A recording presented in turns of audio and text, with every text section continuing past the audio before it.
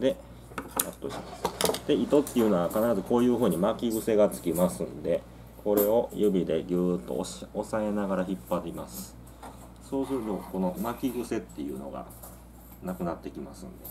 ぎゅーっとこう引っ張ります。そうするとさっきくるくるってなってきたやつが、えー、ここに、餌がつくと、えー、これで、えなくなりますんで。これをこっち側の